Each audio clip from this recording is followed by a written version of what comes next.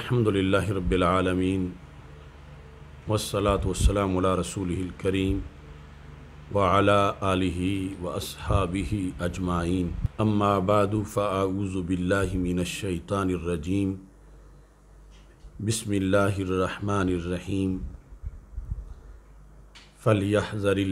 युखालिफून अन अम्रिहि अन तुसीबहुम फ़ितनतुन औ युसीबहुम अज़ाबुन अलीम। सदक़ल्लाहुल्लज़ीम व सदक़ रसूलुहुन नबीयुल करीमुल अमीन। व मलाइकतहु युसल्लूना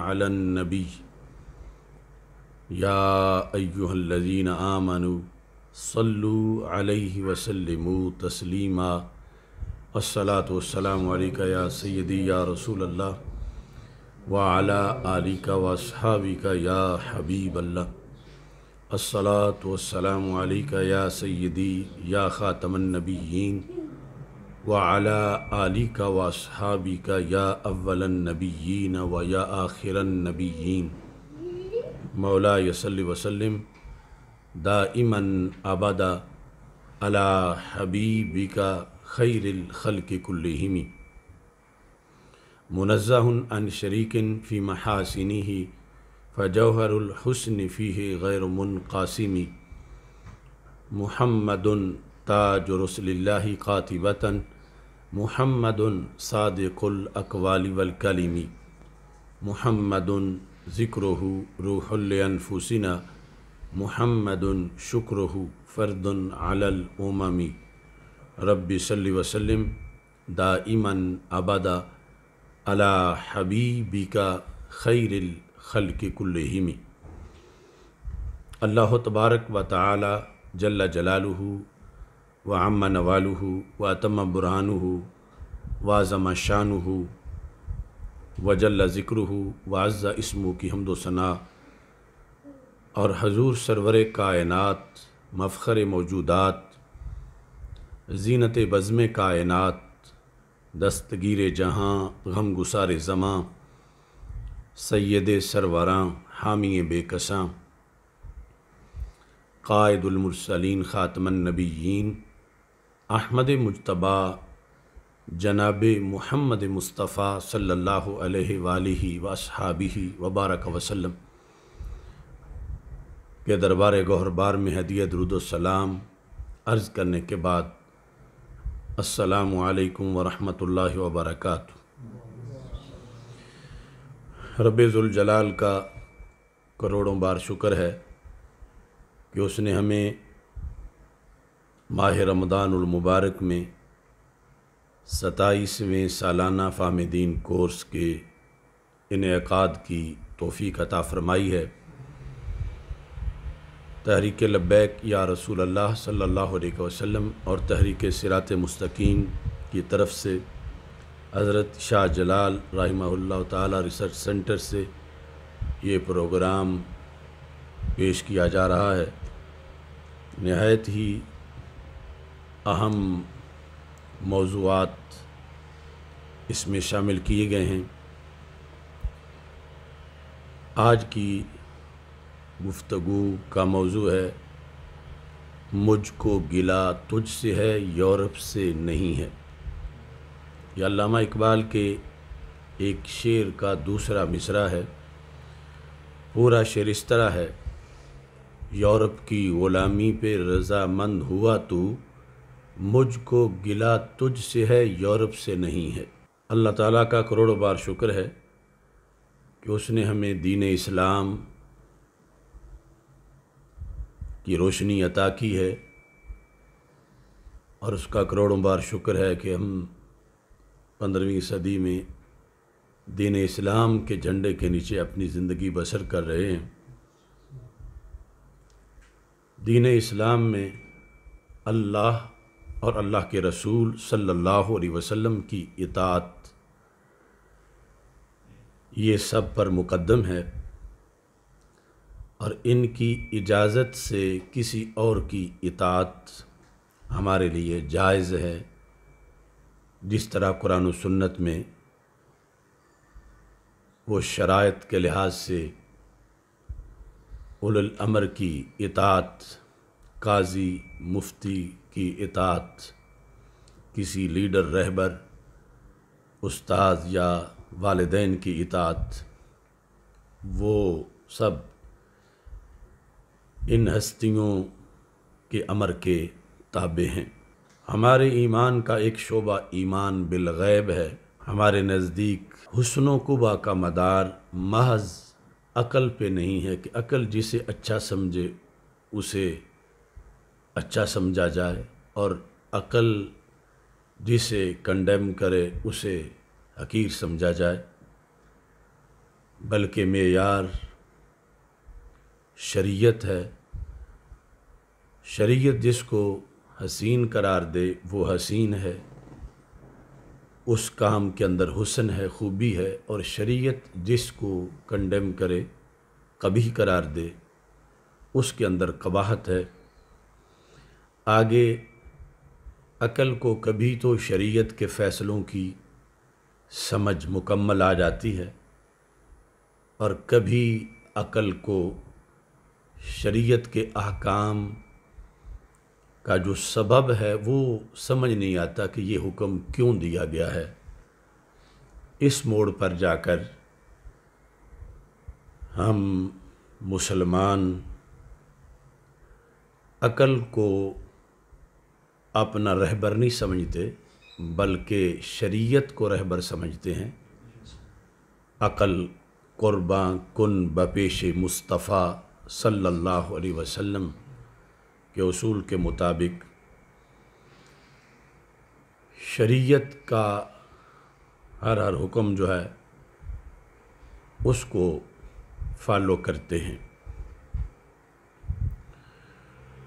कुरान मजीद बुरहान रशीद में सूरह तौबा के अंदर खाल के कायनात जल्ला जलालहू का फरमान है फल यह ज़रील्लजीना युखालिफूना अन अमरी उन लोगों को डरना चाहिए जो अल्लाह के रसूल सल्लल्लाहु अलैहि वसल्लम के हुक्म की खिलाफ वर्जी करते हैं। उन लोगों को डरना चाहिए किन लोगों को जो रसूल अकरम सल्लल्लाहु वसल्लम के हुक्म की खिलाफ वर्जी करते हैं, हुक्म अदूली करते हैं, सरकार ने कुछ फरमाया है वो उसके मुकाबले में कुछ करते हैं। उन्हें डरना चाहिए। किस चीज़ से डरना चाहिए? अन तुसीबहुम फितना और युसीबहुम आज़ाबुल अलीम, के दो में से एक काम उनसे हो जाएगा कि उन्हें कोई फितना पहुँचे या उन पर दर्दनाक अजाब आ जाए। तो कुरान मजीद, बुरहान रशीद में क़्यामत तक के लिए उम्मत मुसलिमा को हुक्म रसूल सल्लल्लाहु अलैहि वसल्लम से सरकशी करने से रोका गया और इस पर वईद, अजीम वईद सुनाई गई कि ये कोई छोटी सी गलती नहीं, बल्कि बहुत बड़ी गलती है। इस पर फितना आ जाएगा तुम पे या अजाब अलीम आ जाएगा। एक मोमिन अपने ईमान की बुनियाद पर अपनी जुदा पहचान रखता है और कुफ़ार के मुकाबले में इसी से इसका मुकम्मल लाह अमल मुख्तलफ है। इबादात के अलावा जो अहकाम हैं, उसके अंदर भी ज़िंदगी में मुसलमानों का लाह अमल बिल्कुल जुदा करार दिया गया है। इसी सिलसिला में नबी अकरम नूर मुजस्म शफ़ी मुज़म सल्लल्लाहु अलैहि वसल्लम ने इरशाद फरमाया है, जो सैद आयशा सिद्दीक़ा रदी अल्लाह तहा रवायत करती हैं। हदीस नंबर पाँच हज़ार सात सौ चौंतीस बुखारी शरीफ में है कि जिसके मुताबिक मोमिन हर हर काम में अपनी शरीयत से हुक्म पूछे और उसे पूरा करे, ना कि गैरों के अफकार, गैरों के नज़रियात और गैरों की तालीमात पे वो चले।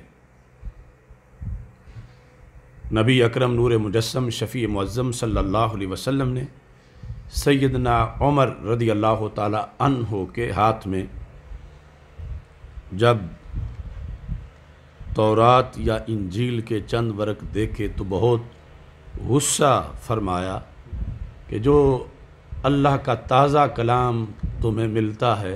क्या तो वो तुम्हारे लिए काफ़ी नहीं है? तुम अवा मुतहविकून अन तुम जबन अलख़त्ताब अपने आप ही तुम और काम शुरू कर देते हो। तो शदीद गुस्सा नबी अकरम सल्लल्लाहु अलैहि वसल्लम ने इस पर फरमाया। हालाँकि वो उम्मत के मुहदस थे और नबी अकरम सल्लल्लाहु अलैहि वसल्लम के इतनी नवाजात थी कि हज़रत उमर रदी अल्लाह तहो के दिल के ख़्यालात पर भी कंट्रोल रसूल पाक अलैहि वसल्लम का था। लेकिन इसके बावजूद नबी अकरम नूर मुजस्म शफ़ी सल्लल्लाहु अलैहि वसल्लम ने उन्हें कुरान सुन्नत से हट के आगे पीछे किसी चीज़ की तरफ़ झांकने से मना किया। आज आजमाइश, दर आजमाइश ये है कि उम्मत मुस्लिमा के अंदर एक बहुत बड़ा फितना दूसरों की तरफ़ देखने और उनको, उनकी पैरवी करने का है। यूरोप चूँकि ज़ाहरी तरक्की के लिहाज से लोग उसकी मिसाल देते हैं तो इसी ज़िमन में लोग एहसास कमतरी में उनकी हर चीज़ को तरजीह देना शुरू हो जाते हैं कि जब वो ये कह रहे हैं तो फिर ये बात ज़्यादा अच्छी है। और ये जो रवश है, यूरोप की ग़ुलामी अफकार व नज़रियात में चाल ढाल में जो कि मुसलसल एक तूफ़ान उम्मत मुसलिमा की तरफ़ आ रहा है, ये असर हाजिर का बहुत बड़ा फितना है। अब वो तो यकीनन हमारे दुश्मन हैं और दुश्मन ने दुश्मनी करनी होती है, लेकिन इकबाल कहते हैं, यूरोप की ग़ुलामी पे रज़ामंद हुआ तू मुझको गिला तुझ से है, यूरोप से नहीं है। कि दुश्मन ने तो हमला करना ही है, लेकिन तुझे दुश्मन के हमले से बचना चाहिए। वाय नाकामी, मताए कारवां जाता रहा। कारवां के दिल से, एहसास से ज़ियाँ जाता रहा। जब कोई शख्स दुश्मन को दोस्त समझना शुरू हो जाए तो अब उसका मर्ज़ तकरीबन ला इलाज होने के करीब चला जाता है। तो इस बुनियाद पर इकबाल ये भी कहते हैं कि खूब है तुझको शार साहिब बतहा का पास। कह रही है, ज़िंदगी तेरी कि तू मुस्लिम नहीं। यानी वैसे ज़ुबान से तो तू कहता है, मैं मुसलमान हूँ, लेकिन काम से, किरदार से खूब है तुझको शार साहिब बतहा का पास।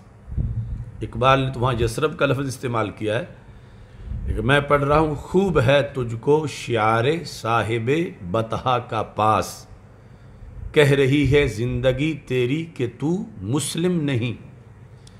जिससे तेरे हल्काए ख़ातम में गर्दूँ था असीर। ए सुलेमा, तेरी गफलत ने गंवाया वो नगी गाफिल अपने आशियाँ को आके फिर आबाद कर, नगमा जन है तूरे माना पे कलीम नुकता भी तो इकबाल कहते हैं कि पूरी कायनात जो है, वो एक अगर अंगूठी के रिंग की तरह है तो उसके ऊपर जो नगीना है, वो इस्लाम की कुव्वत है और रसूल पाक सल्लल्लाहु अलैहि वसल्लम की शरीयत है, जिससे तेरे हलकाए ख़ातम में गर्दू था असीर, कि तेरी अंगूठी के रिंग में ज़मीन व आसमान जहाँ आपस में मिलते हुए नज़र आते हैं, जब इंसान देखता है तो ये सारी कायनात, ए मुसलमान, तेरी अंगूठी के अंदर थी। इतना वसी तेरी अंगूठी का रिंग है इतना वसी हल्का है, सारी कायनात पर तेरा राज और सारी कायनात पर तेरा कंट्रोल था, जिससे तेरे हलकाए ख़ातम में गर्दू था असीर। ए सुलेमा, तेरी गफलत ने गंवाया वो नगी। तो हल्का जो है उसके ऊपर नगी होता है। तो ये शरीयत का जो नगी है इसकी वजह से इसका रोब था मुसलमान के रूब में इजाफा हुआ और सारी कायनात बड़े बड़े वो जो अपने आप को सुपर पावर कहते थे, मुसलमानों के सामने घुटने टेक गए और मुसलमान कायनात की सबसे बड़ी पावर के तौर पर सामने आए। लेकिन सुलेमा के लफज से हालात हाजरा के मुसलमानों को खिताब करते हुए कहा कि तुम्हारे पास वो अंगूठी थी, वो नगीना था। तो तुमने अपनी गफलत से वो नगीना गुम कर दिया है। तो अब अगर चाहते हो कि तुम्हारा फिर इकतदार हो कायनात पे और तुम कायनात पर कंट्रोल हासिल करो तो अपना नगीना ढूंढो।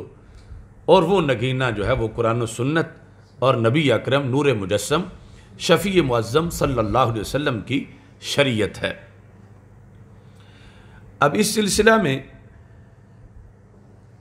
रसूल अकरम सल्लल्लाहु अलैहि वसल्लम के सैकड़ों, नहीं, हज़ारों ऐसे अहकाम हैं, फरामीन हैं, कि जहाँ पर हमें अपने ईमान का जो बिल्कुल इब्तदाई सबक है, उसे सारी ज़िंदगी जहन में रखना पड़ता है। हदलमतकीन अल्लाजीन युमिन बिलगैब ये जो ईमान बिल गैब है, ईमान बिल गैब, इसके ज़रिए से इसको इमाम बनाकर, इसको मुर्शिद बनाकर, इसकी हिफाजत करके इंसान, मुसलमान अपनी ज़िंदगी का सफ़र कामयाबी से तय कर सकता है। अगर ये नज़रिया बनाए कि मैंने पहले परखना है, तजर्बा करना है, देखना है, फिर मैंने मानना है तो फिर शायद किसी एक चीज़ को मानने के लिए सारी ज़िंदगी भी तजर्बे के लिए नाकाफ़ी हो। कि जन्नत तब मांगूँगा मानूँगा पहले देखूँगा, जहन्नम तब मानूँगा जब पहले देखूँगा।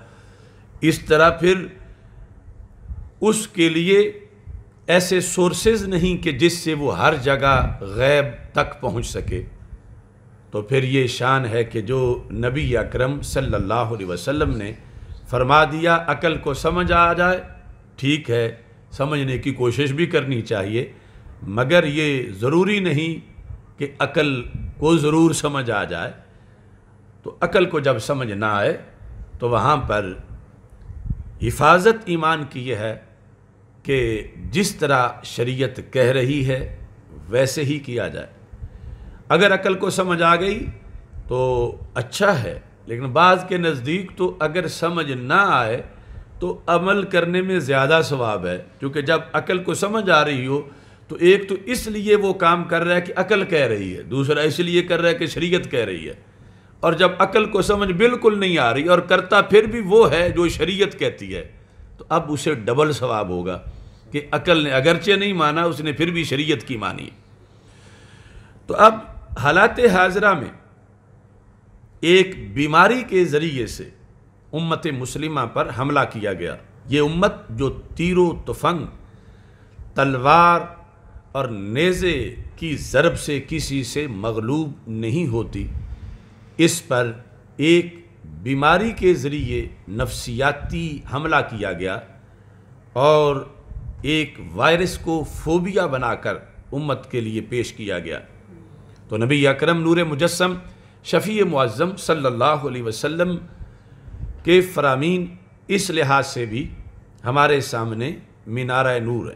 पहले कई मौजूद हम इस सिलसिला में बयान कर चुके हैं, बिलखसूस कल इस लिहाज से भी बयान किया कि कैसे कुछ लोगों ने अहादीस के अल्फाज में ख़यानत की और मफाहिम में ख़यानत की। अब देखें, बुखारी शरीफ से जो हदीस शरीफ आज मैं आपके सामने पेश कर रहा हूँ, जिस हदीस के मफहूम पर असर हाजिर में वारदात की गई और एक तसव्वुर जो कि गैर मुस्लिमों का तसव्वुर था, उसे शरी तसव्वुर बना के पेश किया गया। नबी अकरम नूर मुजस्म शफ़ी मुज़म सल्लल्लाहु अलैहि वसल्लम ने ताउन के बारे में फ़रमाया। अब ताउन के बारे में दो नज़रिए हैं।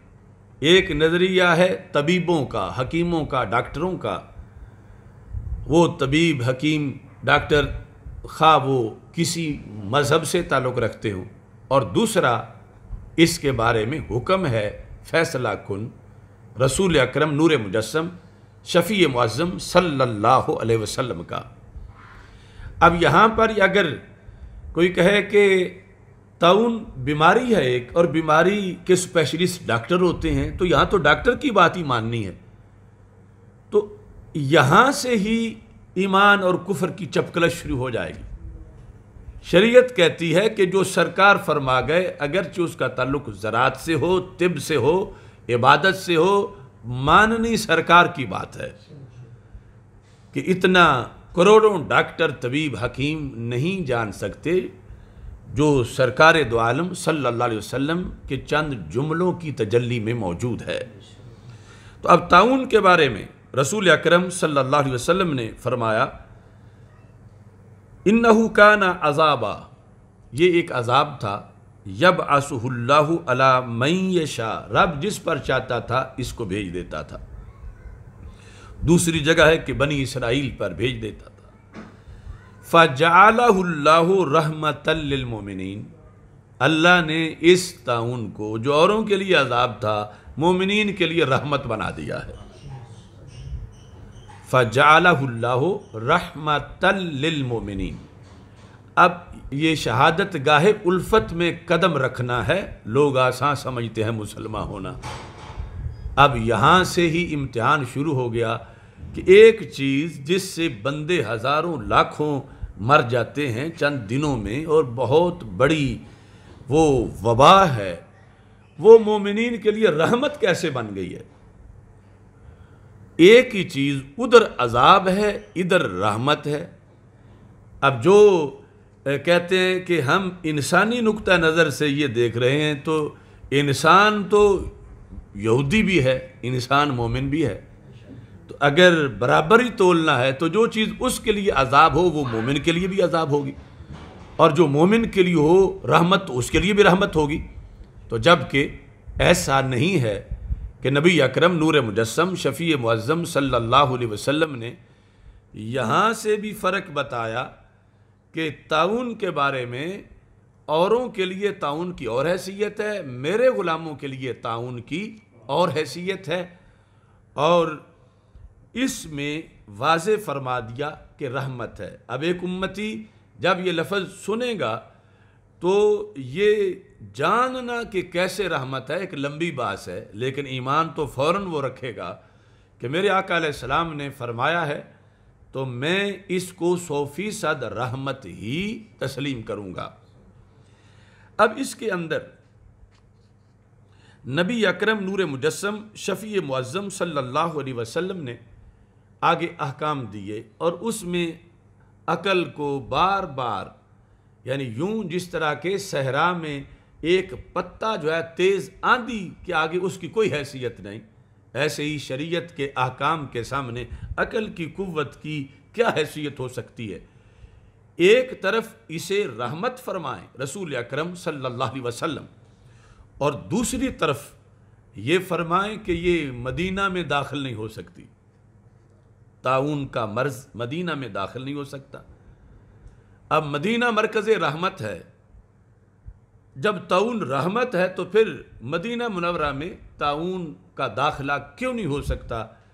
अब अकल के लिए मज़ीद यहाँ आजमाइश है और जब सरकार ने फरमा दिया तो फिर अकल को मानना पड़ेगा, मुस्लिम अकल को, कि जब सरकार दोआलम सल्लल्लाहु अलैहि वसल्लम ने फरमाया है तो ये ऐसे ही है जैसे सरकार ने फरमाया। और फिर इसमें कि जब रहमत है तो ये क्यों फरमाया कि जहाँ ताउन हो, वहाँ ना जाओ? रहमत लेने तो जाना चाहिए। जहाँ ताउन हो, वहाँ ना जाओ।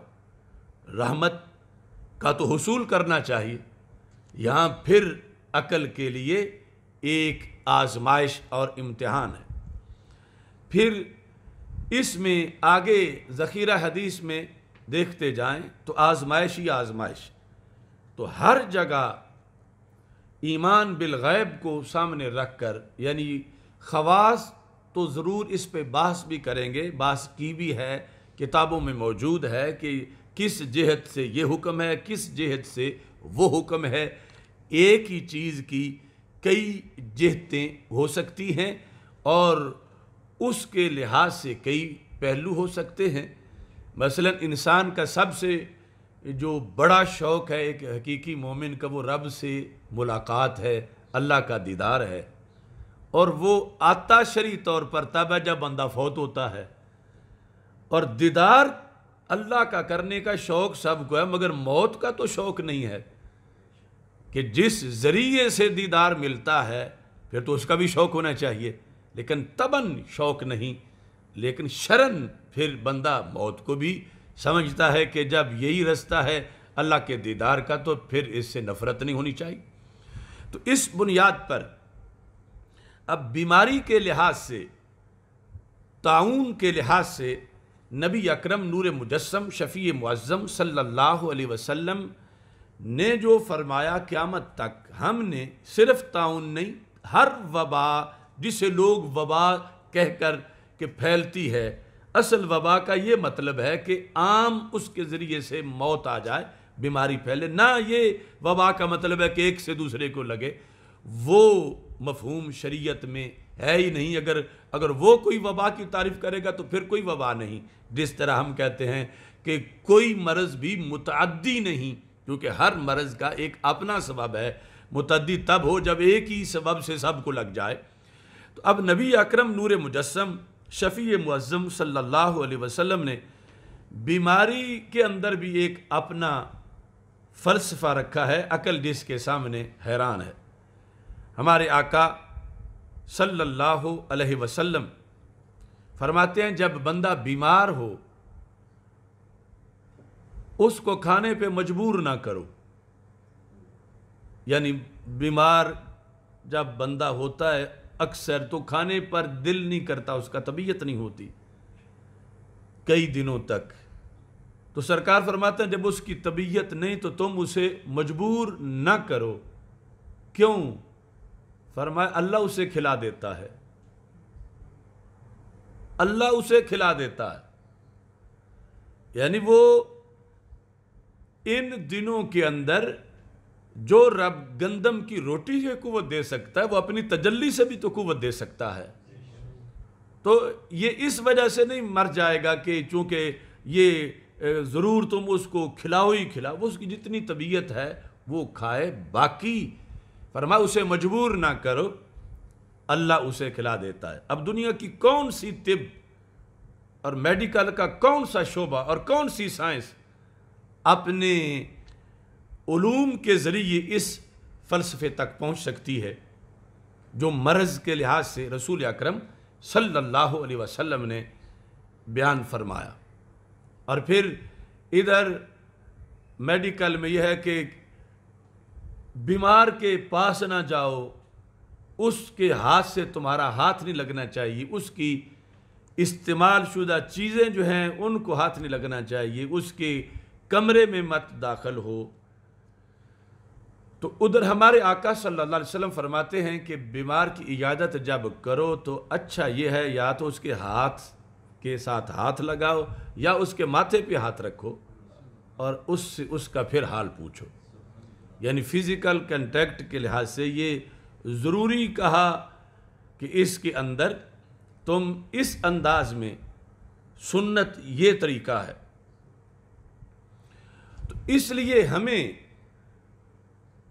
नबी अकरम नूर मुजस्म शफ़ी मुआज़म सल्लल्लाहु अलैहि वसल्लम के अहकाम के पेश नज़र और उसकी शरी तहलील जो है, उसके पेश नज़र अपनी ज़िंदगी बसर करनी है। हमारे आका सल्लल्लाहु अलैहि वसल्लम ने जैसे ताउन को रहमत करार दिया और ये अकल से एक वरा चीज़ है अवामी तौर पर। ऐसे ही हमारे आका सल्लल्लाहु अलैहि वसल्लम ने बुखारी शरीफ में ये हदीस शरीफ भी मौजूद है कि नबी अकरम, नूर मुजस्म शफ़ी मुआज़म सल्लल्लाहु अलैहि वसल्लम, आप इरशाद फरमाते हैं, ला यदखुलमदीनता अलमसीह वलताउन मदीना मुनवरा में मसीह दज्जाल दज्जाल भी दाखिल नहीं हो सकेगा और ताउन का मर्ज भी दाखिल नहीं हो सकेगा। ताउन मदीना मुनवरा में दाखिल नहीं होगा, ये खबर दी रसूल पाक सल्लल्लाहु अलैहि वसल्लम ने। और पैगंबर की हर खबर सच्ची होती है। और नबी अकरम सल्लल्लाहु अलैहि वसल्लम की ये खबर सनद के लिहाज से बिल्कुल सही है। यानी जब सनद सही है तो पत, ये पक हो गया कि सरकार ने ये लफ्ज़ ज़रूर बोले हुए हैं। और जब बोले हैं सरकार के लफ्ज़ हैं तो मोमिन शक नहीं कर सकता। अब ताउन मदीना मुनवरा में दाखिल नहीं होगा, ये ख़बर दी है रसूल अकरम सल्लल्लाहु अलैहि वसल्लम ने सदियों पहले। और इसके साथ ख़बर हज़ार हा किताबों में मौजूद है और उम्मत इस पर मुतफिक है। आज की टेक्नोलॉजी, आज की साइंस, आज की तिब, वो ये बताए कि क्या रुकावट है कि जो बाकी शहरों में तो नहीं, मदीना मनवरा में है, कि बाकी शहरों में तो ताउन का मर्ज दाखिल हो सकता है, मदीना मुनवरा में दाखिल नहीं हो सकता। यानी टेक्नोलॉजी के लिहाज से वहाँ फ़िज़ा के अंदर क्या चीज़ शामिल है क्योंकि ताउन का मर्ज़, उसके जरासीम, ये यानी जो निज़ाम है, आगे आने का हवा में कोई चीज़ शामिल होती है, फ़िज़ा में शामिल हो जाती है। ताउन से ये तो नहीं कोई जानवर होगा दाखिल होने लगे तो उसे कोई फायर करके वहीं मार दे के अंदर दाखिल ना हो। वो तो मर्ज नज़र ही नहीं आएगा। तो फिर क्या चीज़ वहाँ रोके हुए है? और दुनिया के दूसरे शहरों में वो सिक्योरिटी नहीं है। तो फिर अकल कुर्बा कुन बपेश मुस्तफ़ा सल्लल्लाहु अलैहि वसल्लम। यानी ये हमें अपने आप को दूसरों से जुदा रखना पड़ेगा हर काम के अंदर। अब उनके वाशिंगटन को ऐसी सिक्योरिटी मुयसर नहीं है, लेकिन हमारे मदीना मुनवरा को मुयसर है और चौदह सदियों से साबित है कि ताउन दाखिल नहीं हुआ। और फिर इस पर आइमा ने यह भी लिखा कि सारी दुनिया के तबीब और डॉक्टर मिल के ये गारंटी नहीं दे सकते किसी एक बंदे के बारे में किसी ताउन का मर्ज नहीं लगेगा। और हमारे नबी अलैहिस्सलाम ने पूरे शहर की गारंटी दे दी कि इसके अंदर ताउन का मर्ज दाखिल नहीं होगा।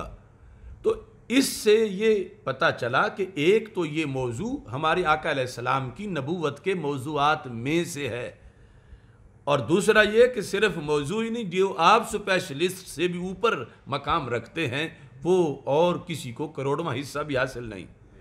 और फिर इन उमूर के अंदर जो है, वो यकीन इंसान के लिए दुनिया में भी राहत है। अगर सिर्फ़ इसी हदीस पर आज नजद के मुफ्ती अमल कर लेते, सिर्फ़ इस पर ही तो किस कदर सहूलत होती उनके लिए और किस कदर आलम इस्लाम की सही रहनुमाई की जा सकती। कि मदीना मुनवरा में एतमाद कर जाते सरकार के फरमान पर कि जब ताउना नहीं आ सकता तो करोना कैसे आ सकता है? यानी वो ताउन जो एक माजी का माना हुआ मरज है और लाखों लोग उसमें वाक़ता मरते हुए नज़र आए, मरे और उसको माना गया कि ताउन से मरे हैं। तो जब उसे सरकार दोआलम सल्लल्लाहु अलैहि वसल्लम ने रोक दिया है तो करोना कैसे आ सकता है? चूँकि मुहदसिन ने ताउन पर हर मरज़ को, वबा को आगे क्यास किया है। लेकिन आज, यानी ये मैं पूरे शर सदर से कह रहा हूँ कि सऊदी अरब को फॉलो किया सबने कि वहाँ हरमैन शरीफैन हैं, वो ये कर रहे हैं तो हम भी वैसे ही करें। अगरचे हमने उस वक़्त जो कहा था कि उनके पीछे ना चलो, उनके अपने मामलात हैं, और ये शरीयत में कहीं भी नहीं लिखा हुआ कि जो सऊदी अरब वाले काम करें, वो तुम्हारे लिए भी करना ज़रूरी है या करना जायज़ है। हमारे पास कुरान है, हमारे पास सुन्नत है तो हम इससे दलाइल से देखेंगे। और मेरी वो एंटी कोरोना सेमिनार की तकरीर की बातें आज वो सब उसी तरह साबित हुई कि ये यानी सऊदी अरब ने तो अभी तक कुछ नहीं खोला। और ये सारे अब कई सजदा साहब निकालने के लिए कहते हैं, हम ईदें ग्राउंडों में पढ़ेंगे अब बड़ी धूमधाम से बंदगी होगी। जैसे अब कोई अचानक नया दिन आ गया है तो ये उस वक़्त मैंने कहा था कि इसको दलील ना बनाओ कि हरमैन शरीफ आने वाले ये कर रहे हैं। तो वो तो अब भी वो कर रहे हैं और इधर वाले अब कहते हैं, अब हम वो नहीं करेंगे। तो शुरू से ही देखना चाहिए, चूँकि वहाँ पर चलो पूरी दुनिया में अगर कोरोना वाकया तन आ जाता, खुदा न खास्ता हर तरफ़ हमला उसका हो जाता तो फिर भी सऊदी अरब के पास तो एक शहर मदीना मनवरा था। और पूरी दुनिया को चैलेंज करते सदाकत के लिए कि ये इस्लाम है, ये इसका शहर है मदीना मुनवरा, और ये हमारे आखिरी नबी सल्लल्लाहु अलैहि वसल्लम खबर दे के गए हैं, और देखो उनकी खबर सच्ची है, और इस शहर में देखो ताउन और करोना, और ये दाखिल नहीं लेकिन वो चूँकि वहाबियत का जो नज़रिया है, जैसे कल के सबक में हमने कहा, तोहीद के बारे में कच्चा साबित हुआ नबूवत से अकीदे में तो वैसे ही वो कितने पिलपिले हैं। एक मंजर हम देख के मुझे एक ख़ास बंदे ने भेजा कि वो मुवाजा शरीफ पर स्प्रे कर रहे हैं सैनिटाइज़र से, जहाँ कायनात में शिफा बढ़ती है। यानी ये वहाबियत है कि वहाँ हाथ रगड़ के शिफा तो लेने नहीं देते, ये कुछ तबर्रुक के लिए। और ये उनका अकीदा है कि कोरोना आ गया है, बीमारी आ गई है, लिहाजा उससे बचाव के लिए जो है वहाँ पर स्प्रे किया जाए। तो ये बात कभी जाकर कुफर के हाथ जब चढ़ेगी तो वो पूछेंगे कि तुम जिस दर को कज़ाए हाजात के लिए और बाखुदा खुदा का वही है दर और जिसके लिहाज से चौदह सदियों में दर रसूल सल्लल्लाहु अलैहि वसल्लम से मंगते कभी खाली ना लौटे और इतने कुरान सुन्नत के उसके अंदर शवाहद हैं और तुम तो वहाँ भी स्प्रे कर रहे थे उस वक़्त। तो ये वहाबियत है कि जिसने दोनों लिहाज से हमारे अकीदे के मुकाबले में एक डैमज, जर्द और स्या नज़रिया जो है वो इस वक्त पेश करके आलम इस्लाम को शर्मिंदा किया है। तो जब सरकार फरमा गए, सल्लल्लाहु अलैहि वसल्लम तो कम अज़ कम मदीना मुनवरा को बतौर मॉडल ये पेश करते और देखते तो सही कि अब दुनिया इस जेहत से परख ले कि नबूवत क्या होती है और गैब की खबरें क्या होती हैं और ख़त्म नबूवत का मतलब क्या है कि क़्यामत तक के लिए रसूल अक्रम, नूर मुजस्म शफ़ी मुज़म सल्लल्लाहु अलैहि वसल्लम अपनी तरफ़ से जो कुछ दे के गए हैं, वो देख रहे थे। उनके सामने कोई छुपा हुआ नहीं था। लिहाजा हम क्यों किसी के भीख मांगे, किसी की सोच और फ़िक्र और खिरत की? क्योंकि हमारे पास तो अथेंटिक फैसले हैं जो रसूल पाक सल्लल्लाहु अलैहि वसल्लम की तरफ़ से आए हैं। लेकिन मुझको गिला तुझ से है, यूरोप से नहीं है। ये जो इस्तेमार है, ब्रिटिश इस्तेमार और ये सारी यूरोपीय यूनियन, सारे इस्लाम मुखालिफ, सबसे पहले इनका हमला ही मरकज़ इस्लाम पर था। और अब भी है। यानी पाकिस्तान के लोग इनके दिल का ईमान और वहाँ के मुफ्ती, उनके दिलों का ईमान, यहाँ के अवाम और वहाँ के खवास इल्ला माशा इसमें बड़ा फ़र्क है, क्योंकि वहाँ पर जो देखा जाता है किसी चीज़ को तो मुफ्तियों के जहनों पर भी और आँखों पर भी ये एनकें लगाई गई हैं कि इससे माली तौर पर फ़ायदा क्या होगा। इससे अमेरिका खुश होगा या ना खुश होगा? इससे यहूद नसारा की तरफ़ से क्या रद्द अमल आएगा? ये सामने रख कर जब फतवा दिया जा रहा हो तो फिर उससे फ़ायदा और निजात और उससे मुसलमानों की खुशहाली कैसे हो सकती है? तो नबी अकरम नूर मुजस्म शफ़ी मुज़म सल्लल्लाहु अलैहि वसल्लम ने फरमाया फ़जालल्लाहु रहमतलमिन अल्लाह ने मोमिन के लिए इसको रहमत बनाया। अब आगे उसी हदीस में रहमत वाली जेहत बयान कर दी। फलई समिन अब्दी यका उत्ताउनो फयम को सोफी बलदी साबिरा कि जहाँ ताउन आ जाए, वहाँ जो बंदा सबर करके ठहरा रहे, सबर करके। लेकिन साथ अकीदा भी हो, क्या या लामो अन्नहू लई बहू इल्लामा लहू। सिर्फ़ ये नहीं कि वहाँ रहे, उस बीमारी वाले शहर में इस नज़रिए से रहे कि वही होगा जो रब चाहेगा। उसे कुछ नहीं पहुँच सकता सिवाय उसके जो रब ने लिखा हुआ है। इस नज़रिए पर वो उस शहर के अंदर डट के रहे इल्ला का लहू मिसल अजर शहीद। रब उसे शहीद का सवाब अता फरमा देगा। तो अब शहीद का सवाब कोई आसान तो नहीं है, जान देनी पड़ती है। और यहाँ सिर्फ़ वहाँ पर सब्र से अकीदा सही रख के सिर्फ़ वहाँ रहे। खा पी रहा है, कोई तलवारें नहीं चला रहा और ना तलवारें किसी की खा रहा है। और ये भी शरत नहीं कि जान निकलेगी तो शहादत मिलेगी, ज़िंदा भी रहेगा, शहीद भी होगा। तो हमारे आका सल्लल्लाहु अलैहि वसल्लम ने फरमाया, ये ताउन का कमाल है कि रहमत है। इसकी वजह से ये भी हो सकता है कि बंदा चल फिर भी रहा हो और शहीद भी हो, कि यानी शहीद जैसा उसको सवाब जलाल अता फरमा देगा। अब यहाँ जो शर्तें हैं, उनके अंदर नबी अकरम नूर मुजस्म शफ़ी मुज़म सल्लल्लाहु अलैहि वसल्लम ने ये बात वाज तौर पर फरमा दी कि तीन वस्फ उस बंदे के साथ हों। आला हज़रत फ़ाज़ल बरेलवी रहमत इस हदीस की वजाहत में कि अव्वल सब्र व इस्तकलाल।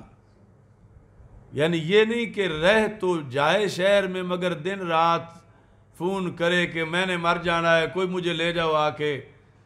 सबर इस्तकलाल, सबर करे, इस्तकलाल के साथ वहाँ रहे। नंबर दो, तस्लीम तफवीज़ व रज़ा बिल कज़ा पर तलब सवाब। यानी उसकी यह कि मैंने अपना आप रब के सपुर्द कर दिया है। और मैं इस पर अल्लाह से सवाब चाहता हूँ। तो ये तीसरा, ये सच्चा अकीदा कि बेतकदीर इलाही कोई बला नहीं पहुँच सकती। तकदीर में है तो फिर बला पहुंचनी है, मेरे तक वरना नहीं पहुँच सकती। ये तीन तीन नज़रिए रख के वहाँ रहेगा तो फिर शहीद वाला सवाब उसे मिलेगा। और अगर ऐसा है कि रोज़ाना प्रोग्राम बनाता था कि निकल जाऊँ, लेकिन गाड़ी नहीं मिलती थी या कोई अर्जा आ जाता था, कोई रुकावट बन जाती थी तो फिर वहाँ मर भी गया तो शहीद का सवाब नहीं मिलेगा। क्योंकि जो शरत है वो पाई नहीं गई। वो तो भागना चाहता था, वसाइल नहीं मिले भागने के। और यहाँ इस चीज़ को भी बताया गया कि अकीदा हो, अगर उसका ये नज़रिया हो कि यहाँ लोग बीमार हो गए मैंने भी हो जाना है। लेकिन मजबूर हूँ, अब मेरा कारोबार यहाँ मैं जा कैसे सकता हूँ? इस नज़रिए पर रह के ताउन से मर भी गया तो फिर भी स्वाब नहीं मिलेगा। क्योंकि शरत नहीं पाई गई। शरत यह है कि पहले नज़रिया हो कि बला तब आनिया रब ने चाहना है, वरना इस देश में, इस शहर में रहने की वजह से, किसी की बीमारी की वजह से मेरी तरफ़ भी बीमारी आ जाए, ऐसा नहीं होगा। ये वो अपना फाइनल अकीदा रख के वहाँ रहेगा तो फिर उसको सवाब मिलेगा। अब ये हदीस शरीफ जो है, बुखारी शरीफ की, इसको भी तहरुल कादरी ने आइसोलेशन के लिए पेश किया। ये जो करंतीना में कि बंद हो जाओ, बाहर ना निकलो। इसी तरह ये लॉकडाउन के हदीस में है, सरकार भी फरमा रहे हैं, फयम खुशो कि वहाँ ठहरे। तो सरकार ने जो फरमाया है, ठहरे। उसका मतलब क्या है? और जो तहरुल कादरी ले रहा है, इसका मतलब क्या है? मतलब में इतना फ़र्क है जितना दिन और रात में फ़र्क है। सरकार का मतलब है ठहरे। कैसे? बीमारी के होते हुए सीना तान के ठहरे। ये अकीदा रख के कि अगरचे मेरे घर में भी कोई बीमार है, मगर मजाल है जो मुझे बीमारी उसकी लगे, रब चाहेगा तो लगेगी। तो अब जो है, वो फयम को सो है जो सरकार ने फरमाया है कि ठहरे, साबेरा, और साथ ये शर्त है कि वही होना है जो रब ने चाना है। तो अब ये कहता है क्या? ठहरे। यानी ठहरे का मतलब कहते कि बाहर ना निकले, कि इस बुनियाद पर कि कहीं ये बीमारी लेके बाहर ना चला जाए। या कहीं ये घर में बंद रहे कि दफ्तर में जाए तो वहाँ की बीमारी इसे ना लग जाए। ये घर में रहे कि मस्जिद में जाए तो वहाँ की बीमारी इसको ना लग जाए? तो सरकार दो आलम अलैहि तो फरमाते, इसलिए ठहरे कि दुनिया को बताए कि उस रब के इज़न के सिवा कुछ नहीं होता। इसलिए ठहरे। और यह कहता है, इसलिए ठहरे ताकि अंग्रेज़ का नज़रिया साबित हो जाए कि जब शहर में बीमारी हो तो जो घर में नहीं रहता, लोगों में मजमे में जाके मिलता है और फ़िज़िकल कंटेक्ट होता है और सोशल डिस्टेंस नहीं होता तो बीमारी लग जाती है। इस नज़रिए को साबित करने के लिए ये घर में ही रहे, ताकि इसे बीमारी ना लगे। तो सरकार फरमाते हैं, घर बंद होना, ये बीमारी को नहीं रोक सकता। लोगों से फासला रख के बैठना यह बीमारी को नहीं रोक सकता। रोकता है तो रब रोकता है, और कोई नहीं रोक सकता। अब दोनों बातों में कितना फ़र्क है?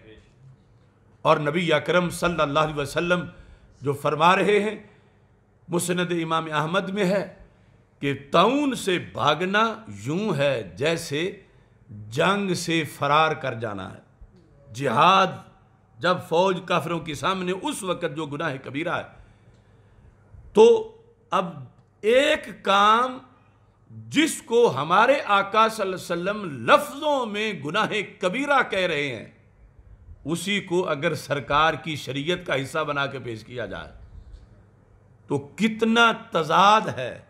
और फिर रसूल पाक सल्लल्लाहु अलैहि वसल्लम की हदीस पे कितना जुल्म है और उसका कितना गलत मतलब है। और फिर फ़ी बैत ही के जो लफ्ज़ हैं एक हदीस में तो उससे वो कहता है कि ये देखो ये जो लॉकडाउन से मैंने तजवीज़ पेश कर दी है कि सारे घरों में रहें तो हदीस में है, अपने घर में ही रहे, शहर में रहे, या फ़ी बैत ही अपने घर में रहे।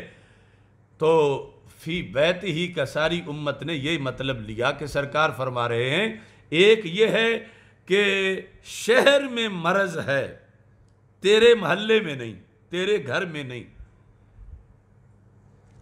अब भी तूने रहना शहर में ही है, इस यकीन पर। कि रब नहीं चाहेगा तो दूसरे महल्ले का मरज तुझे कैसे आके लग जाएगा? और अगर मरज है ही तेरे घर में तो तूने फिर भी रिहायश नहीं बदलनी, उसी में रहना है।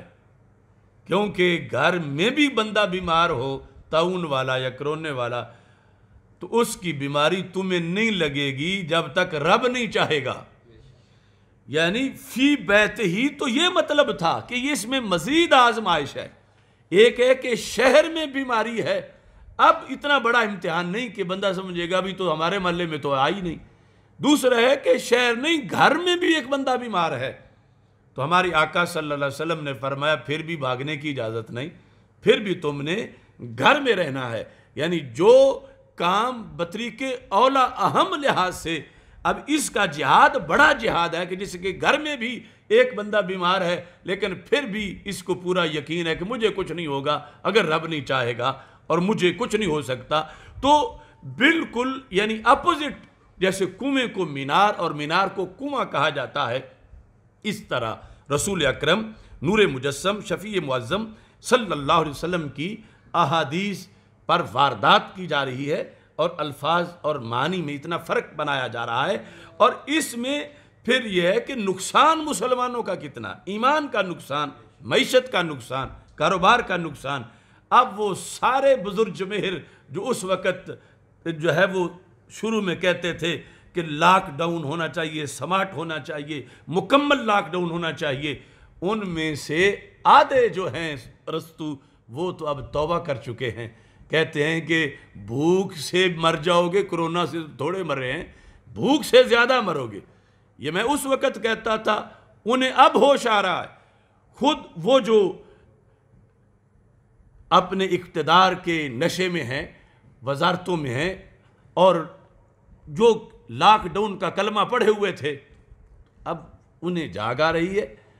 और ये सूरत हाल के पहले दिन से ही, और आगे के लिए मैं कह रहा हूँ कि नया जब कोई एजेंडा बातिल बना के लाए तो हमारे आका सल्लल्लाहु अलैहि वसल्लम ने उम्मत को तलवारों के जिहाद के मुकाबले में भी शरीयत दी है और बीमारियों का नाम लेकर उम्मत पर हमला करने वालों का जवाब देने की भी शरीयत दी है और इस बुनियाद पर हमें इन सारे उमूर को पेश नज़र रखना चाहिए कि ये जो है कि जब वहाँ ताउन हो तो फिर मौत के डर से फरार ना करो। मौत के डर से।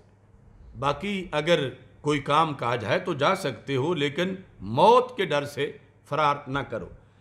अब मौत के लिहाज से इसको फिर मुसावी रखा गया किसके? तवली योम जहफ, यानी जंग वाले दिन पुष्ट फेरना। और ये जो इमाम इबन हजर ने कबीरा गुनाह लिखे हैं दो जिल्दों में, उनमें ताउन से फरार को कबीरा गुनाहों में शुमार किया। कि इसी तरह का गुनाह है कि वैसे तो इस्लाम का खाए पिए और बड़े नारे लगाए और दावे करे और काफिर सामने आए और ये दौड़ लगा के भाग जाए जिहाद के वक़्त तो ये कबीरा गुना है। तो इसी तरह ताउन के लिहाज से भी, यानी करोना बीमारी, वबा, ये सारी चीज़ें, इसको भी उसी तरह का, इससे भागना कबीरा गुना करार दिया गया है। अब मैदान जंग में क्या होता है? मैदान जंग में भागने का ये मतलब नहीं है कि अगर सामने से तो हट गया है, सामने से हट गया है, लेकिन मैदान जंग में किसी झाड़ी में छुप गया है तो कोई कहे, भागा कब है? वहाँ तो झाड़ी में वहाँ ही था। भागा तो नहीं है तो कहा जाएगा, नहीं, ये भागना ही होता है। कोई कहे कि अब अगर एक शख्स वहाँ से छुप के घर उसका साथ ही था, घर जाके बैठ जाए, छुप जाए तो असल तो यह है कि जिस मकसद के लिए था फ्रंट पे वहाँ रहकर, वो पूरा नहीं कर रहा तो फिर आगे जिधर भी हो वो भागना ही होगा। खा वो जाके कहीं नफल शुरू कर दे तो भागना ही होगा। तो इस बुनियाद पर, यानी जब ताउन और जिहाद से भागने को बराबर करार दिया गया तो इसमें अगर ताउन एक महल्ले में है और ये दूसरे महल्ले में है, और ये ताउन वाले दूर महल्ले में उसी शहर में जाके रहता है, बाहर नहीं निकला, उसी शहर के अंदर जरा दूर वाले महल्ले में चला जाता है तो फिर भी भागना पाया जाएगा। कि ये उस शहर से भाग गया है। क्योंकि जिस चीज़ के अंदर भी ये आएगा कि ये फ्रंट पे लेके उस ताउन का सामना नहीं कर रहा, वो सारी चीज़ें भागने के अंदर जो है उनको शुमार किया जाएगा। और इसके साथ ये उमूर भी वाज हैं कि जब भागना इतना बड़ा जुर्म है तो भगाना कैसा है? ताउन से भागना जुर्म है तो क्या भगाना भी कोई जुर्म है? मसलन जो तहरुल कादरी ने या दीगर जो सब लगे हुए थे डरा डरा के कोरोना से, और वो बहुत से थे अपनी अपनी बोली बोल रहे थे। ताउन से भागना गुनाह कबीरा है और बगाना उससे भी बड़ा गुनाह है। इस सिलसिला में अजीब बात है कि आला हज़रत फाजल बरेलवी रहमत से एक सवाल किया गया और फिर ये कि ये जो ताउन से लोगों को डरा के भगाता है, क्या इसके पीछे नमाज़ हो सकती है? ये भी पूछ लिया गया। सफ़ा नंबर दो सौ चौरासी, जल्द नंबर चौबीस में ताउन के खौफ से मकाम, खौफ से फरार करना कैसा है? फिर ताउन से जान के खौफ से, वो जो हदीस में है, जुर्म तब है कि जान बचाने के लिए भागे वहाँ से। ताउन से जान के खौफ से फरार करने वाले या फरार की तरगीब देने वाले के पीछे नमाज़ पढ़ना कैसा है? क्योंकि नमाज़ का मसला तो फ़ौर आ जाएगा जब भगाने वाला आलिम होगा या खुद भागने वाला आलिम होगा तो आगे उसके लिए मसाइल बन जाएँगे। तो इस सिलसिला में आल हज़रत फाजिल बरेलवी रहमत ने सफ़ा नंबर 306 पर, अब ये नहीं कि हमने अब किसी को कटहरे में खड़ा करने के लिए कोई नया छापा ले आए हैं वही हदीस है, उसके तहत उन्होंने लिखा है। कहते हैं, यहाँ से खूब साबित ज़ाहिर हुआ कि मुसलमानों को फिरार अनित की तरगीब देने वाला उनका खैर खा नहीं, बद खा है। खैर खा नहीं, यानी ये अब इस तरगीब में ही था ना, सोशल डिस्टेंस क्यों है? कि मर जाओगे कोरोने से, करीब ना किसी को खड़े होने दो। ये एक तो ये भी फरार है ना, सफ वाला फरार, मस्जिद बंद वाला फरार, जुमा बंद वाला फरार, दुकान बंद वाला लॉकडाउन वाला। यहाँ से खूब साबित ज़ाहिर हुआ कि मुसलमानों को फिरार अनिताउन की तरगीब देने वाला उनका खैर खा नहीं बद खा है। और तबीबों, डॉक्टरों का इसमें सब्र इस्तकलाल से मना करना। यानी ख़तीब, उलमा कहते हैं, सब्र करो, कोई नहीं होगा, सब्र करो सब्र करो। हमारे आकाम ने फरमाया है, सब्र करो, सब्र ही इसका इलाज है। तो डॉक्टर कहे, नहीं नहीं नहीं, ये तो मर जाओगे सब्र करते करते। तो कहा, तबीबों, डॉक्टरों का इसमें सब्र इस्तकलाल से मना करना खैर व सलाह के खिलाफ बातिल राह है। अल्लाह अज्जा व जल्लन अगले जुमले बड़े काबिल गौर हैं। आज़म मुफ्तियान और असगर सब के लिहाज से और गैर मुफ्तियों के लिए। अल्लाह अज्जा वजल्ला ने रसूल अल्लाह सल्लल्लाहु अलैहि वसल्लम को सारे जहाँ के लिए रहमत बनाकर भेजा है और मुसलमानों पर बित बितखसीस रऊफ़ रहीम बनाया है। और हज़रत सिद्दीक अकबर रदी अल्लाह तु के लिए सरकार दो आलम अलैहि वसल्लम ने फरमाया, अरहम उम्मती बि उम्मती अबू बकर, कि मेरी उम्मत के लिहाज से सबसे बढ़ के रहम करने वाले सिद्दीक अकबर रदी अल्लाह तु हैं। ये लिख के कहते हैं, हदीस में आया, यानी जो रफत और रहमत मेरी उम्मत के हाल पर अबू बकर को है, इतनी तमाम उम्मत में किसी को नहीं। अगर ताउन से भागने में भलाई और ठहरने में बुराई होती तो रसूल अल्लाह सल्लल्लाहु अलैहि वसल्लम के अपनी उम्मत पर माँ बाप से ज़्यादा मेहरबान हैं, क्यों ठहरने की तरगीब देते? क्यों ठहरने की तरगीब देते? यानी अगर भागने में भलाई होती भागना, वो जो मैं खाका उसका पेश कर चुका हूँ, जिस जिहत में जितना भी भागना हो, छह फुट वाला हो या इससे ज़्यादा हो, जो भी कि हमारे आका सल्लल्लाहु अलैहि वसल्लम ये बता के गए हैं, फाइनल करके गए हैं कि वो जाहिलियत का तस्वुर था, इस्लाम ने इसको कंडेम कर दिया है। तो डॉक्टर कैसे मेहरबान हो सकता है कि सरकार मेहरबान नहीं और डॉक्टर मेहरबान है। जब सरकार दो आलम सल्लल्लाहु अलैहि वसल्लम ने फरमाया कि तुमने ताउन वाले शहर से मौत के डर से बाहर नहीं निकलना तो अगर ये बात रहमत ना होती तो सरकार क्यों फरमाते? तो भागना वहाँ से अगर रहमत है तो फिर सरकार पर इल्ज़ाम लाजम आएगा कि डॉक्टर तो रहीम बन गए हैं, बड़े मेहरबान बन गए हैं, इमिन वजह और सरकार जो है उन्होंने तो रहमत का सोचा ही नहीं, उम्मत के लिए भलाई सोची नहीं माजल्ला अच्छा तो अपनी उम्मत पर माँ बाप से भी ज़्यादा मेहरबान है। क्यों ठहरने की तरगीब देते और भागने से इस कदर ताकीद शदीद के साथ मना फरमाते? और सिद्दीक अकबर रदी अल्लाह तु के तमाम उम्मत में सबसे बढ़कर खैर खाई उम्मत हैं। क्यों इससे ना भागने का अहद पैमान लेते? यानी उनके अहद में जब ताउन आया तो उन्होंने कहा, सारे वादा करो कि भागे का कोई नहीं था उनसे क्यों अहदो पैमान लेते? यानी आज के ये जो गामदियत और मिनहाजियत वाले हैं, इनका तो ये मतलब हुआ कि जैसे ये हमारी तकरीरों पे शुरू में भी रद्द करते रहे कि ये ये सबको मरवाने लगे हैं। ये सुन्नी कॉन्फ्रेंस कहते हैं, करनी करनी है। ये यूँ करने लगे हैं कि सारे इकट्ठे होंगे तो मर जाएँगे। तो हज़रत सिद्दीक अकबर कह रहे हैं कि हलफ दो, भागेगा कोई नहीं। सबने यही ठहरना है। तो कहा, वो सारी उम्मत से, उम्मतियों के लिहाज से ज़्यादा रहीम है और फिर ऊपर रसूल अकरम सल्लल्लाहु सारे जानों के लिए रहमत है। अच्छा मालूम हुआ कि ताउन से भागने की तरगीब देने वाले ही हकीकतन उम्मत के बदखा हैं।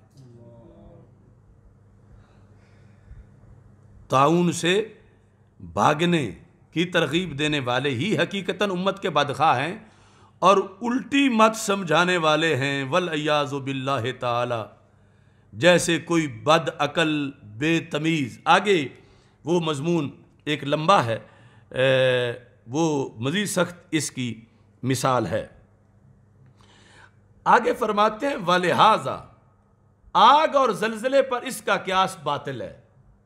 यानी जो आज भी बोलते हैं कि अब आग हो और कोई उसमें जा रहा हो, तुम कहो कि तवक्ल करो, कुछ नहीं होता।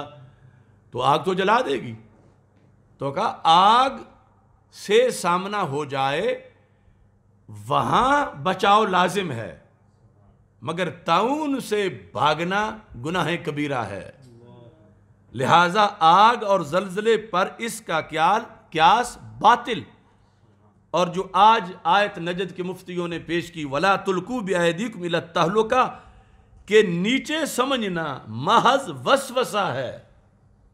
यानी करुणा वाला मसला या ताउन वाला, इसको वला तुलकू बेदिक मिला तहलुका आयत के मजमून का हिस्सा समझना। कि अल्लाह फरमाता है कि आपने आपको हलाकत में ना डालो, लिहाजा मस्जिदें बंद कर दो हरमैन शरीफ बंद कर दो, घर बंद कर दो तो फरमाया, ये उस आयत के मफहूम का हिस्सा इसे समझना, ये क्या है? महज वसफसा है कि उनमें हलाक गालिब है। किसमें? जलजले में। किसमें आग लग जाए तो हलाक होना गालिब है। जैसा कि कलाम हज़रत शेख महक् खुद ससीरू से गुजरा और सरकार इसका वाज बयान फरमा चुके हैं। दूसरे मकाम पर आला हज़रत फाजल बरेलवी रहमत ने 308 सफ़े पर खुलासा लिखा तंबी है नबी के नाम से। नबी, शानदार तंबी। जिस तरह ताउन से भागना हराम है, वो जो हदीस है ना, उसका खुलासा बयान करते हुए कि जहाँ पहले हो, वहाँ तुम ना जाओ, और तुम जहाँ हो, वहाँ आए ताउन तो ना भागो। कहते हैं, जिस तरह ताउन से भागना हराम है, और उसके लिए वहाँ जाना भी नाजायज़ो गुना है अहादी से सरिया दोनों से मुमानत फरमाती हैं। यानी, भागना भी हराम है, और जान बुझ के इसे गले लगाना भी नाजायज़ है। यानी, आ बड़ाई गल लग जो सरकार ने फरमाया कि जहाँ है, वहाँ फला तद तदखलू, वहाँ दाखिल ना हो। तो इन दोनों में क्या चीज़ है? का पहले में तकदीर इलाही से भागना है। किसमें? जो कल भी सारा तफसील बताया कि जहाँ तुम हो, वहाँ करोना आ गया है, ताउन आ गया है, वहाँ से तुम निकल जाते हो। तो ये क्या मतलब होगा? तकदीर इलाही से भागना। और दूसरे में बलाए इलाही से मुकाबला करना लाजम आएगा कि जहाँ पहले है, वहाँ ना जाओ।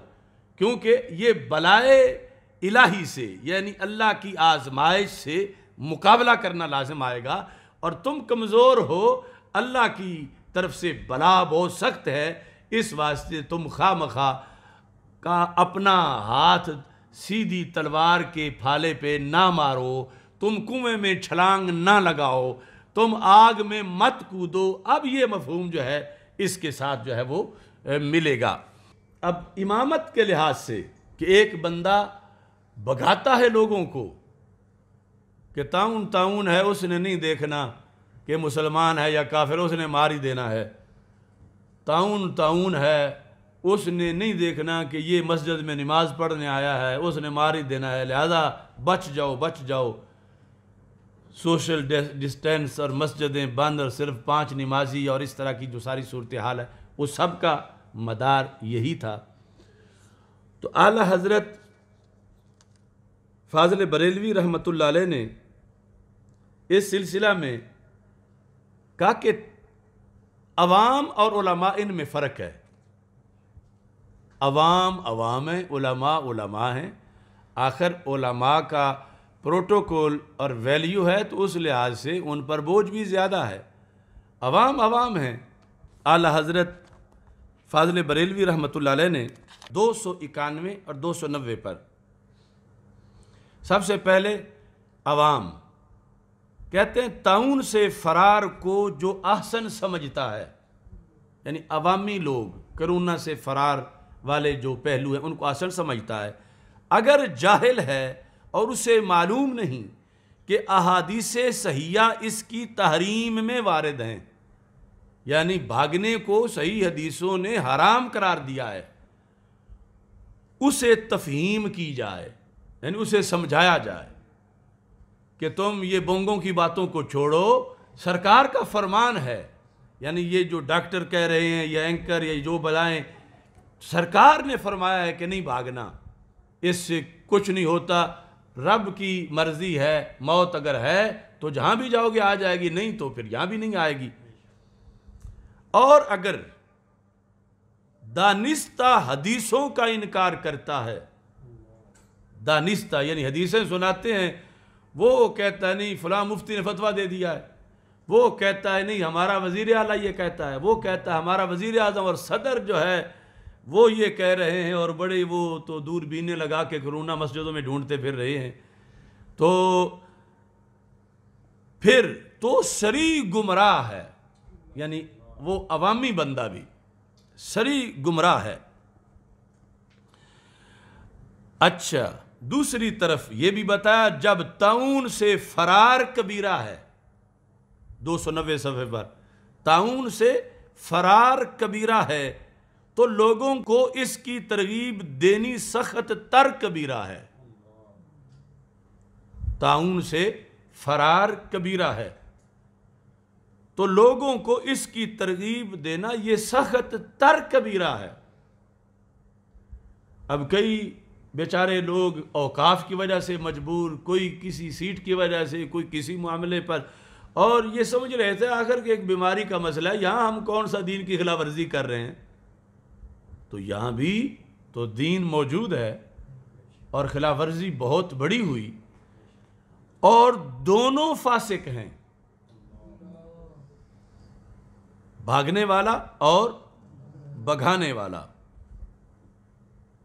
अब अगला लफ्ज़, मैं मुंतबिक किसी पर नहीं करूँगा, सिर्फ़ मैं अपने इमाम के लफ्ज़ जो हदीस से माखूज हैं वो पढ़ूँगा। सफ़ा नंबर दो सौ नब्बे, फतावा रिजवी आगे चूँकि इमामत की बात है कि जिसने करोना से लोगों को डराया या खुद डरा, उसके पीछे नमाज़ का क्या मसला है? तो आप फरमाते हैं, वो जो भागा, वो भी फासिक है। और जिसने बघाया वो भी फासिक मोलिन है। और फासिक मोलिन को इमाम बनाना गुना है। और उसके पीछे नमाज़ मकरू तहरीमी है। ये शहादत गाह उल्फत में कदम रखना है। लोग आसान समझते हैं मुसलमान होना। कि समझा जा रहा था कि ये भी कोई बात है। बस इतने चंद जुमलों से हम भी हिमायत कर रहे हैं, चंद जुमलों से हम भी हिमायत कर रहे हैं, हम भी हिमायत कर रहे हैं, सारे बारी बारी। और अब सारे पिछली चाल में आके धूमधाम से इबादत की दावत दे रहे हैं। तो ये है शरीयत। और हम किसी को नामजद किसी पर एफआईआर नहीं काट रहे। लेकिन ये कि क्या गलती है कि जिसकी वजह से नमाज़ भी उस बंदे के पीछे नहीं होती कि वो ताउन या करोना से डर के खुद भागे या किसी को भगाए। वो फासे के मोलिन है और उसके पीछे नमाज़ मकरू तहरीमी है। वो कौन कौन है? पढ़ने का सलीका हो तो पढ़ लेते हैं कुछ लोग। पानी पे लिखी हुई तहरीर हवा की। नजद के तमाम उलमा को पेश कर रहा हूँ। उनजुरु इलाहाजल किताब ले शेख कुम व हुआ अला रायना वाला मौक़ना व अन तुम फरारीयून। कितना बड़ा जुर्म किया हरमैन को बंद करके ऐसे वो पढ़ रहे हैं जिनको बड़े नहीं, कहा कि वो यहाँ फिट नहीं होती, और ये हुक्म वहाँ नहीं चलता। नजद के ओलामा की भी जो इनके अकाबिर थे, उनकी सोच वही थी इस मसले में जो हदीस के ताबे है। और अब वाले अमेरिका के ज़्यादा करीब हो गए हैं, या कोई और वजह है? ईमान बिद्दुल्लार वर्रयाल सही बुखारी की शरा आठवीं जिल्द है, मोहम्मद बिन सहले ओसैमीन इसने सवाल करके जवाब दिया। अब ये जो तोसीफ चिड़िया घरी है। ये कह रहा था कि मुझे कि देखो, तुम लोगों को कुएँ में गिराना चाहते हो, तुम आग में गिराना चाहते हो, तुम कहते हो कि मैं उसको तवाफ़ कराऊँगा, और ये तो हलाकत है, वला तुलकू बेदिक मिलतहलु का ये आयतें पढ़ रहा था। कुरान हकीम की इस आयत में मालिक अपने बंदों को हुक्म देता है कि वो अपने आप को कत्ल ना करें। मालिक, एक और फरमान सुनिए। वला तुलकू बेदीकुम तहलुका अपने हाथों को हलाकत में मत डालो। यानी ऐसी चीज़ जो आपके लिए हलाकत, खेज हो सकती है, उससे अपने दामन को बचाओ। जानबूझकर कुएँ में छलांग ना लगाओ। जानबूझकर जो चीज़ आपके लिए नुकसानदेह है, उसमें अपने आप को धक्का ना दो। अब इसका जवाब। जो इस चिड़िया घरी के जो बड़े गुरु हैं, उन बड़े गुरुओं का भी जो ऊपर जाके उस्ताद है। यहाँ सवाल किया मसला यानी पूछने वाला ये कहता है, इज़ा कुन तो फ़ी मबना वश तालत फ़ी हिन्नारू फ़ला आखरो जो मिन हाजल मबना, हत्ता यकूना फ़रारम मिन कदरिल्ला कि एक बंदा पूछता है कि मैं एक बिल्डिंग में हूँ और उसे खुदा न खास्ता आग लग गई है। तो अब मैं अगर उस बिल्डिंग से निकल के भागता हूँ बाहर तो क्या यह भी तकदीर से फरार लाजम आएगा? यानी जिस तरह ताउन वाले शहर से भागना मौत की वजह से तकदीर से फरार है तो क्या जिस बिल्डिंग को आग लगी हुई है, उससे निकल के भागना। यह भी तकदीर से फिरार, यानी जुर्म बनेगा या ये भागना जायज़ है? इन दोनों में क्या फ़र्क है? कि ताउन से भागना जैसा जुर्म है, आग लगी हुई बिल्डिंग से निकल के भागना भी वैसा जुर्म है या जायज़ है? यानी ये तोसीफ चिड़ियाघरी जो है, वो कहता है कि ये करोना का मसला और आग बिल्डिंग को लग जाए, ये दोनों एक तरह के हैं।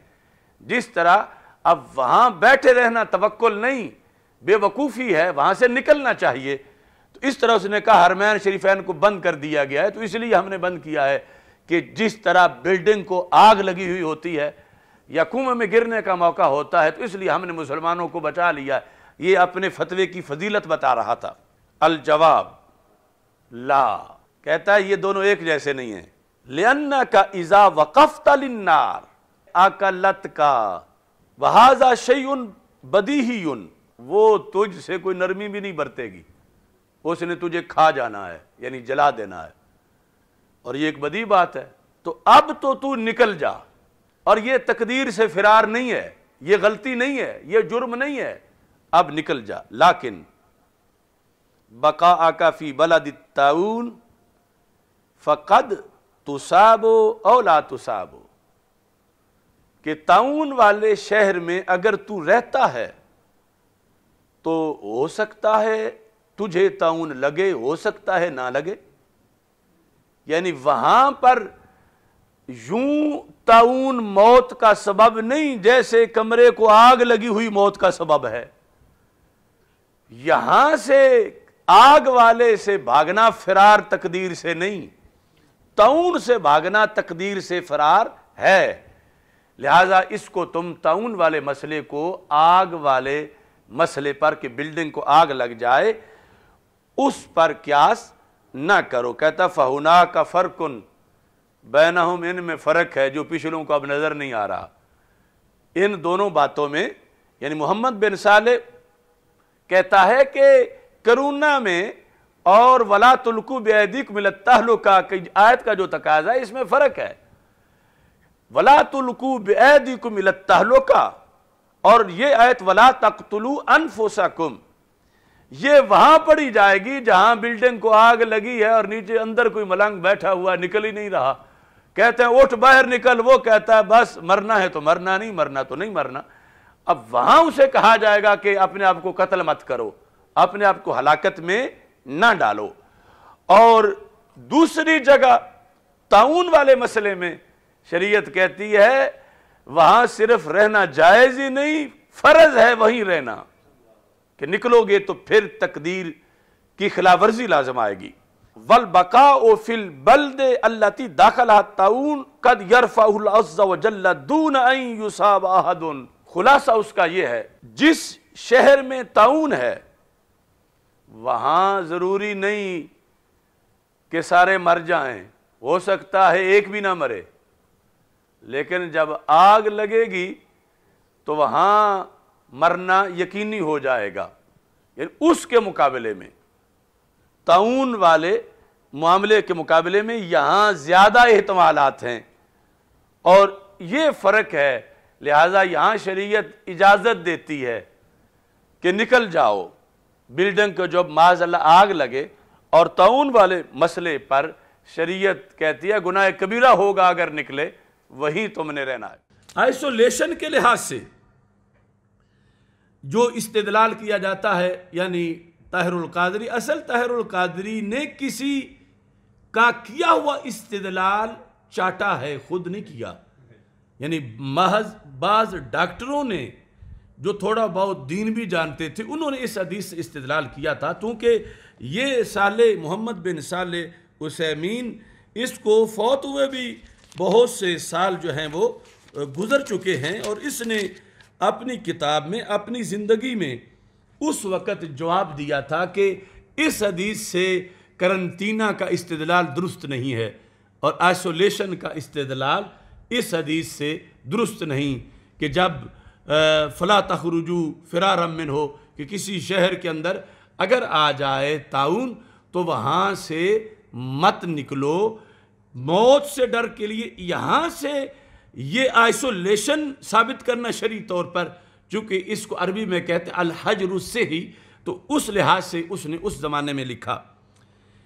कहता है कि पहले तो ये वजाहत व मिनहा जवाज़ुलखरूज मिन अई अर्दिम बेहद ताउन इज़ालम यकुन फ़िरारम मिन। हो अगर किसी शहर में ताउन है और वहाँ से कोई निकलना चाहता, मगर मौत के डर से नहीं निकलना चाहता तो फिर जायज़ है निकलना। जवाजुल खरूज, चूँकि सरकार ने तो कैद लगाई है ना कि मौत से डर के नहीं भागना। अच्छा जी व बेहाजा यतबैनु दो फुल इस्तदलाल मनस्तदल्ला बिहाज हदीस अलामायुसम्मा फ़ी इल्म तिब अल से ही कि मेडिकल तिब में जिसको आइसोलेशन कहा जाता है करंतना, जिसने उस पर इस्तदलाल किया, उसका जोफ भी यहाँ से वाज हो गया। हम कालू, क्योंकि ये कहते हैं, जो इस्तदलाल करने वाले हैं कि रसूल पाक सल्लल्लाहु अलैहि वसल्लम ने जिस सरजमी के अंदर ताउन आ गया, वहाँ से निकलना मना किया है, वो कहते हैं, यही हजरे से ही है।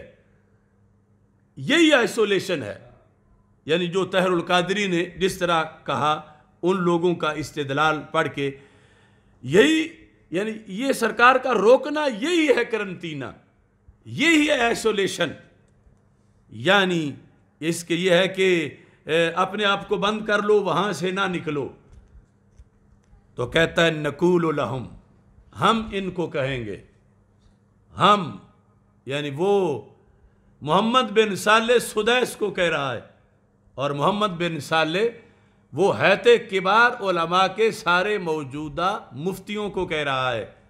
नकूल हम कि हम इन्हें कहते हैं, अपनी ज़ुर्रियत को कि जो बाद में अब सारी कायनात को आइसोलेट करना चाहते हैं और करंतना की दलील देते फिरते हैं और हरमैन शरीफैन को सिर्फ़ करंतना के लिए बंद किया है।